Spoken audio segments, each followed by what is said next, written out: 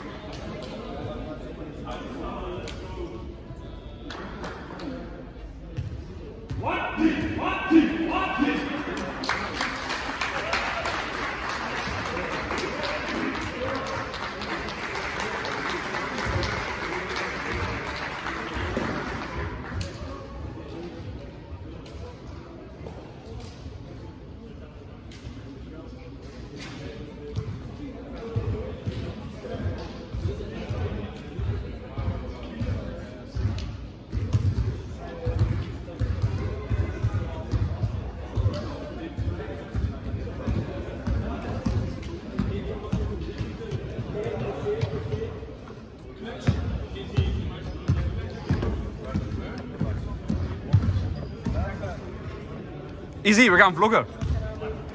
Easy. Eh, ja, interview.